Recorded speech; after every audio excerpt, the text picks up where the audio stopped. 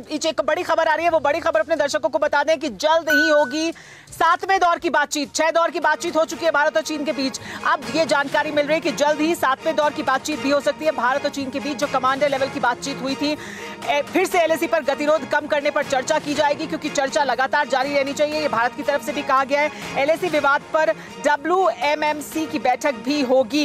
LAC से सैनिकों की वापसी पर बातचीत होगी, क्योंकि पहले यह तय हुआ था जो छठे राउंड की बातचीत थी कि और सैनिकों को नहीं भेजा जाएगा।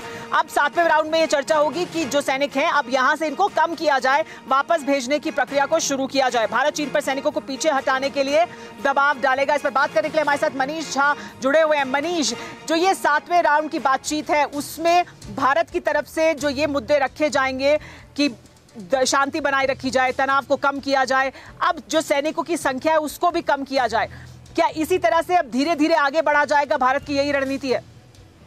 देखिए सुमेरा, कल विदेश मंत्रालय की तरफ़ से ये बात कहा गया कि ये बात सच है कि डिसंगेजमेंट एक कॉम्प्लेक्स प्रोसेस है, जिसमें सेनाओं को पीछे हटकर रेगुलर पोस्ट तक जाने में समय लगता है। लेकिन 10 सितंबर को जो मास्को में दोनों देशों के विदेश मंत्रियों के बीच सहमति बनी थी और उसके तहत कमांडर लेवल की बातचीत होनी थी डब्ल्यू की बातचीत होनी थी और एसआर लेवल की बातचीत होनी थी। तो सातवें दौर के कमांडर लेवल की बातचीत भी जल्दी होगी।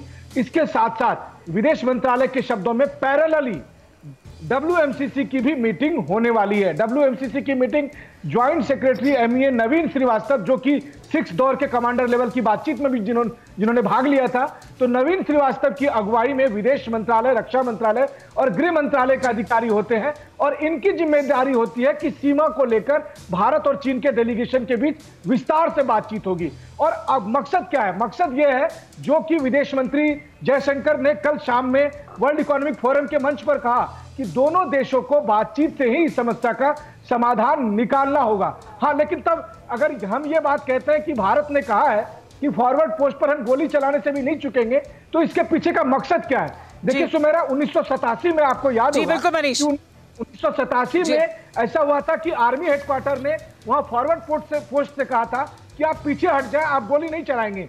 लेकिन तो चीन को लगता था कि भारत इस बार भी यही करेगा। लेकिन 2020 के भारत में Delhi army headquarter Raisina hill और फॉरवर्ड पोस्ट सब एक ही तरह से बदल गया है। और बिल्कुल। परिणाम है। अड़ी सोमवार से शुक्रवार शाम छह बजे सिर्फ़ टीवी नाइन भारत वर्ष पर। क्या आप पर भी बरपा है जालसाजी का कहर? सपने टूटे आपके न घर के न घाट के।